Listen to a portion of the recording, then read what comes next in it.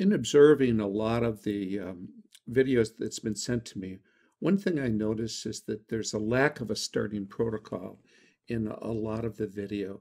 So let's just review why a starting protocol is so often so necessary. So before every patient, what we do is I get set and I give a signal to Joy that I'm set. So you'll notice I'm getting my cart ready. I'm getting my positioning ready. I'm getting my focus ready. I'm getting our team ready to start. And then when I'm ready, I give Joy a signal, which is that hand out on, on the uh, microscope, and I snap it back. And that's a signal to Joy to get her positioned ready. From another angle, you can see I'm getting ready. I'm getting focused. My cart is in the right spot.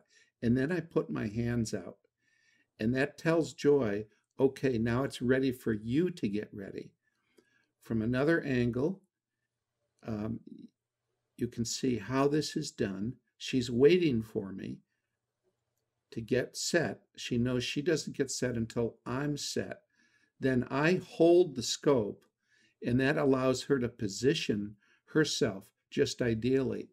Then, when you're both set, then it's ready to start working. So you don't actually ever start until you are both ready, positioned, and ready to work as a team and just focus on what you need to do. You can see my hand signal there. That's a signal to Joy. Then she's ready and she says, okay. Let's look at it from the superior angle. I'm focusing, I'm positioning, I put my hands out. That tells Joy, okay, now position yourself. So if you go through this routine before every patient, you'll find that you'll work better as a team because you're both ready at the same time. So on this patient, this is actually the first patient that we had in our new office uh, giving palatal anesthesia. So I thought I'd just review this again uh, because this is a this is a real teamwork effort. You can't do this without both of you being on the same page. It's it's impossible to do it well. Uh, in fact, it's a good indication of how well you work together as a team. So now that we're both ready, I'm ready to give anesthesia here on this patient.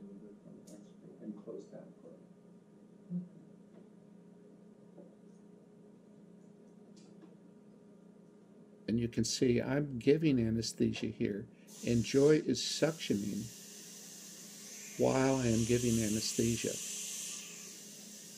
It makes it much nicer for the patient so that all of that saliva and whatnot is removed. Put a little ice cube on the roof. Now I'm getting ready to give a, the, a palatal anesthesia.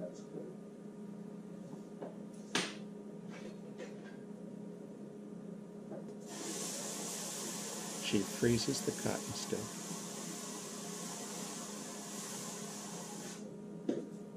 Notice we're both upright, completely comfortable in natural positions.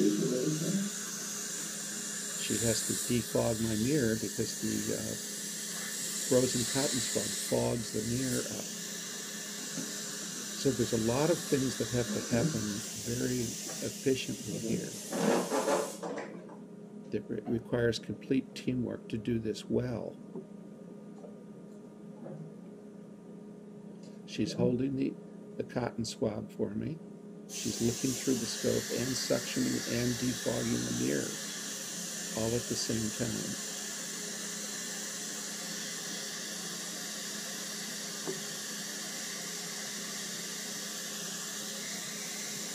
How are you doing, Good. Mm-hmm. Good.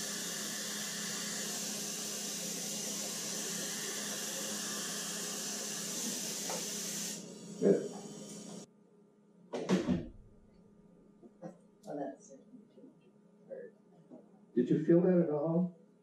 On the, on the roof of your mouth? I could feel it, the cold The cold? for a minute.